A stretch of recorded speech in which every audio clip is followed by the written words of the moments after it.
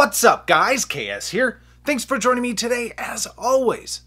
Today we're looking at the Wilson Combat Beretta 92 Centurion with the Vertec frame. The Beretta 92 was first produced in 1972 and replaced the M1911A1 as the main dedicated sidearm for the U.S. forces in 1985 with the designation of the M9. It's known for being reliable and rugged, as well as very accurate in most hands. Along the way, many different models and clones have been released to fit the needs for various people, and several manufacturers have dipped their toes in the arena as well. Wilson Combat, of course, and Langdon Tactical. There are others, but those two seem to be the most notable. We'll be coming back to the Langdon Tactical at a later time, but for now, it's Wilson Combat's turn. Loaded to the nines, the 92 Centurion is ready for action. Let's dive in and take a look. Before we jump in, I want to thank my Patreons for helping out the channel. You guys and gals are amazing. This is a crowdsourced channel and becoming a Patreon or simply checking out the links down below to gear I actually use does help keep the content coming since YouTube doesn't want us around anymore. All right, let's do a couple of quick side-by-sides with the Beretta. I'll tell you, this has been a lot of fun to put together, no doubt about that. I thought it would be an interesting comparison to bring out a gun that we haven't seen in a while. This is the CZ SP01. Now, this is the Shadow Orange. I do not have a review on it, uh, but I will at some point in time. That gun isn't going anywhere and it's not necessarily new to the market. So it will happen, just not yet. And I don't want to clang these guys together too much. I just like them a little bit too much. But that Beretta on the bottom is going to be 7.75 inches long. These guys are actually really just about neck and neck. And in terms of height, we're going to be 5.5 inches tall. Try and line these guys up as best I can. We're talking 1.5 inches wide. That CZ might be just a little bit more narrow, but not by a whole lot. And then we've got 4.3 inches on the barrel and about 33.3 ounces heavy, CZ being just a little bit heavier than that. So a really interesting comparison. I think an if I could only have one might be in order. One more comparison that I thought might be kind of funny and kind of interesting at the same time would be something like this Glock 19X. Now, it's relatively common. A lot of people are familiar with that, Glock 19X being the same uh, slide length as the 19. But just to give you an idea of where that Centurion sits, it's going to be a little bit longer. Now, the uh, 19X does have a threaded barrel in it right now from Silencer Co.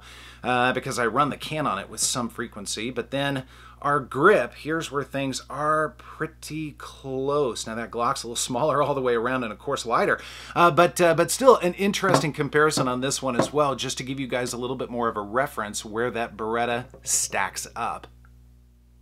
We're going to be taking a walk around the frame here in just a moment, but I did want to show you guys the magazines. Now, it does come with two steel 17-round magazines, good construction. They worked quite well at the range, no complaints there. But it also comes with a third magazine, and that's going to be an extended 20 round magazine. A little different finish on there, as you'll notice, but uh, just to give you guys an idea of what this looks like in the gun, you kind of have to ram that thing in there. There you go. I mean, that is quite a setup. It'd be a great backup magazine, that sort of thing. Or if you just want to plink a little bit longer at the range, you can definitely do that. We'll throw this guy back in here in just a moment. I did want to give you guys an idea of a couple of things the internal magwell on this is fantastic. They did a great job of uh, making sure that this was very smooth, very beveled, makes that magazine insertion a little bit easier. And speaking of, Wilson Combat adds on this little magazine guide. That's brilliant. I think it's great. And it also feels good as part of the grip. It, it even almost gives it kind of a, a fastback or a bobtail look to it. So I think that's a really nice add-on. And when you throw that magazine in there, I think that looks really good. Again, I think it's a good attention to detail, nice little add-on there. Adds a little bit of weight as well. Now, when we get to the grip, a couple of things you'll notice. Now, this is a Vertec grip, which I'll talk about more in a moment, but we've got some very nice VZ grip panels here. I love the texture on this. It's got the Wilson Combat logo. Now, one thing about this model, these are not the original grips. It actually comes with uh, black and gray grips, still with the logo in it, of course. I didn't really like that very much. I wanted the uh, the OD green. Now the non-Vertec model comes with this color. So I guess they want to differentiate the models. It's the only reason I can think that they do that. But Wilson Combat does sell these and they're not horribly expensive, but uh, they're not necessarily cheap either. Still, I wanted to go with this look and the texture again is absolutely fantastic. I think they they feel great in the hand. And then in terms of the checkering, it's another thing that uh, Wilson Combat does with their firearms. They add additional checkering on here, and I have to say it feels tremendous in the hand and it absolutely keeps you locked in while you're shooting. Same thing on the front strap as well. Really nice attention to detail. I love that. Um, anytime you can get some good checkering on a firearm, it just uh, makes the experience all the better. Now I mentioned that this is a Vertec grip, so what that means is it doesn't have that traditional Beretta, I guess you could call it hump and more contoured style grip. This reminds me a little bit more of something like a 1911. It's uh, flatter, it's straighter. If you guys are familiar with the uh, M, uh, M9A3, I believe it is. Uh, the uh, That grip is similar to this as well, although it also comes with another uh, grip panel you can put on to give that a little bit more meat and potatoes in the back. Again, I just like this style quite a bit. And then we've got our beaver tail and a nice swope right here. It gets, uh, it gets very smooth as it blends into the grip. So just feels tremendous in the hand, I have to say.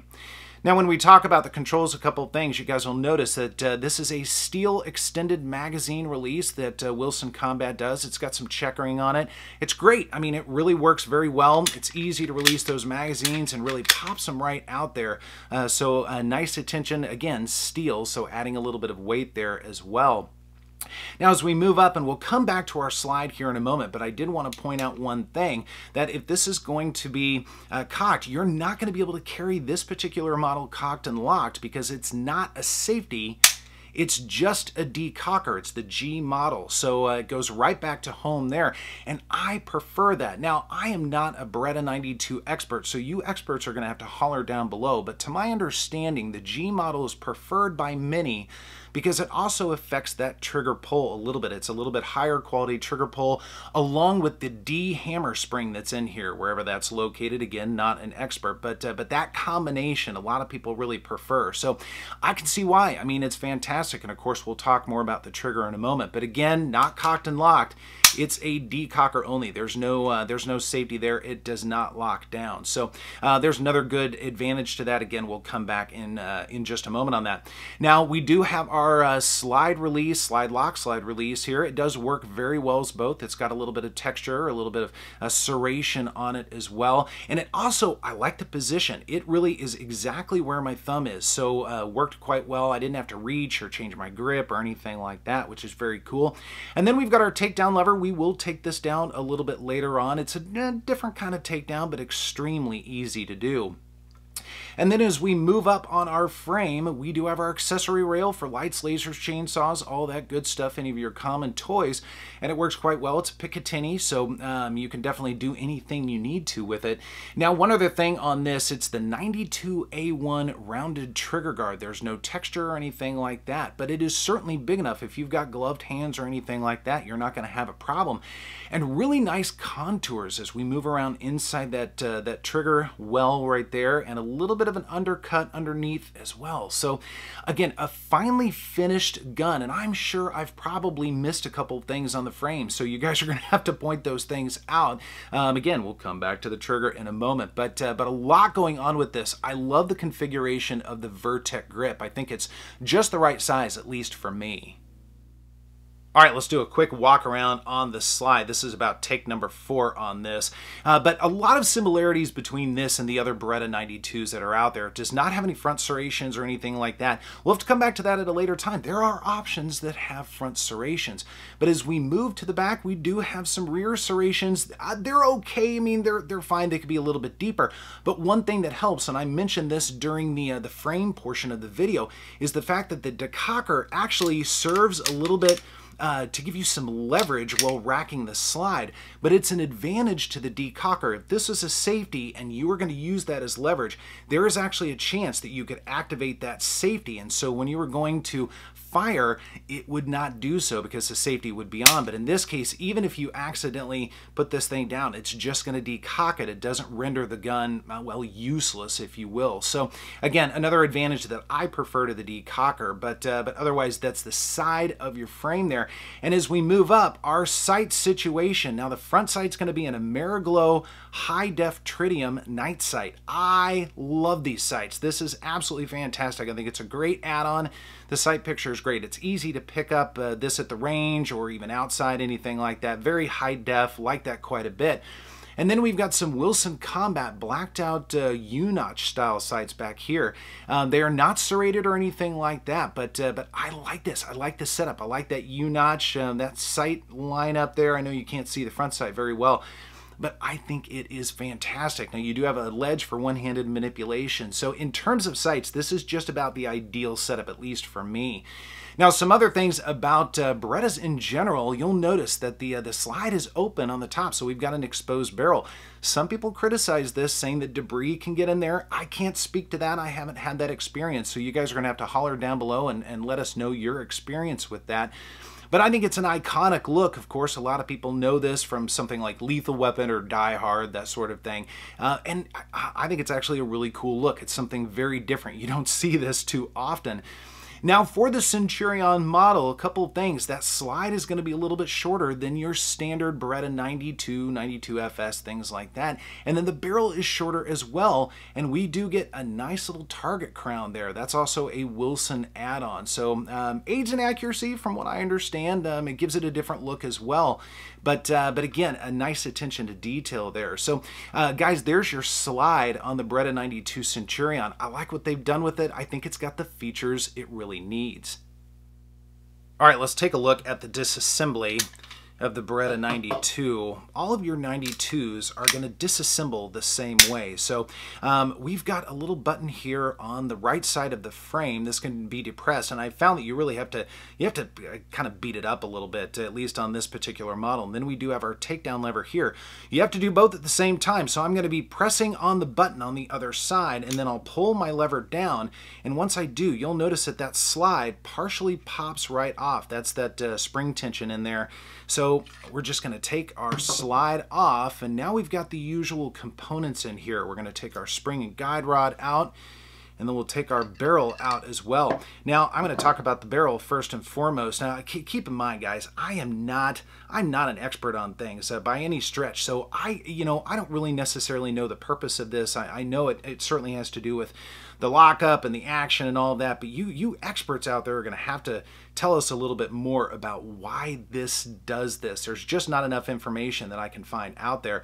But we do have a nice polished feed ramp on here, nice attention to detail, and another look at our target crown. I mean, this is this is a good looking barrel, and I'll tell you, um, this only has about 400 rounds or so in it, but it looks brand new. I mean, it really does. There is not a mark on it that I can see. So uh, the finish that they put on this is absolutely fantastic. Now when we take a look at our slide, First and foremost, when you pick this thing up by itself, you'll notice it hardly weighs anything. Even though it's steel, it's incredibly light.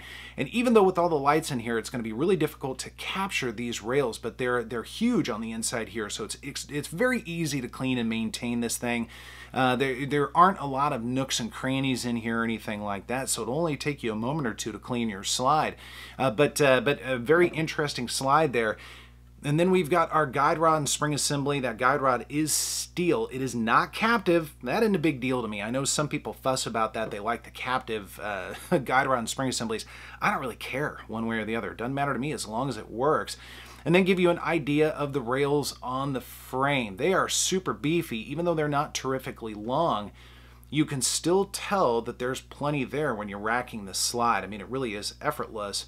But again, easy to clean, easy to maintain. So let's put this guy back together and we're just gonna reverse the process like we do with most other firearms. So here's where things get interesting though. This barrel likes to give me fits when I'm putting this thing together. Look at that, it actually dropped just fine. This, uh, this little uh, piece that goes right here uh, tends to sometimes stand up. So you have to kind of finagle it in there, but seemed to work pretty well this time.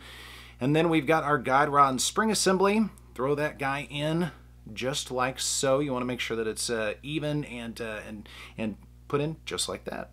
And then we've got our slide and frame and we are going to lock it back.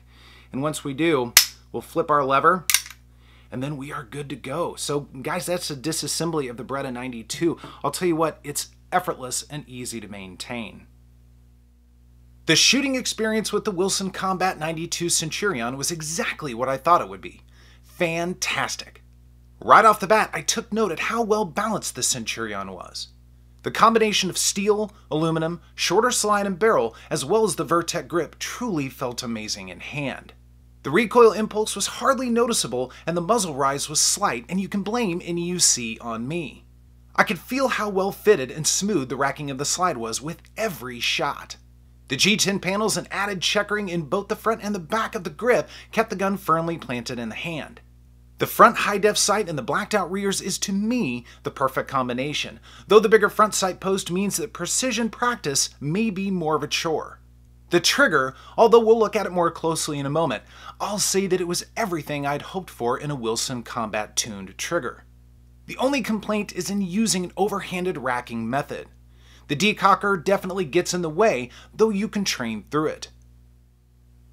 Let's take a look at the trigger for a moment or two. Now keep in mind, this is tuned by Wilson Combat, so it does have the trigger job, and I recommend that. If you're gonna be going into this thing, I would spring for that trigger job. So it is double action, single action, two different types of pull here. We've got a steel trigger, of course, no safety or anything. It's not like our polymer wonders out there. But our double action, a couple of things about this. There's your double action. I will tell you what, this is unbelievably smooth and it's weighing at about 7.8 pounds, which is just unbelievable. I mean, it really is a wonderful double action pull. I enjoy it. In fact, I almost enjoy the double action more than the single action. Of course, not quite, not exactly. And I'll show you the reset here in a moment as well, but I want to show you the uh, the single action on this guy. We do have a little bit of take up as we get to the wall, but it is super clean. There, there's just almost nothing there. And then our trigger pull, this is coming in about 3.7 pounds. I mean, it's fantastic. Now, there are certainly lighter double actions out there, but it still feels amazing. And then our reset, our reset's right there. It's pretty short. It's not super short. Um, there are definitely shorter options, but it's not bad. And then we get back to our wall, and I'll do this a couple more times. There's your break. I just an awesome break there. And then our reset, and then a follow-up. There's a little bit of air there. You'll notice a little bit of air. I'll do this one more time. Our reset right there and a little bit of air. That's one thing about double action, single actions. It's a little bit unusual. You've got a little bit of air between your reset and your uh, your wall. But I'll tell you what, man, this trigger, this trigger is unbelievable. Uh, again, I recommend that uh, tune trigger from Wilson Combat if you can do it. So guys, what do I think of the Wilson Combat Beretta 92 Centurion? It's absolutely fantastic. The extra checkering in the VZ grips, the high def front and blacked out rear sights, the shortened barrel and slide, and of course the trigger. That Wilson trigger job truly dials this up to 11, and I recommend springing for it if you can. Not only is this superbly balanced, but I think it looks awesome as well. To me, it's just about the complete package. Okay, it's not perfect. It's too heavy for everyday carry to many, but as a home defense option and a range plinker, it's nearly perfect. Guys, be sure to let me know what you think and if you agree or disagree. If you're a fan of the Beretta 92, regardless of model, I want to know, so be sure to leave a comment down below. Otherwise, thanks so much for joining me, and I will see you next time.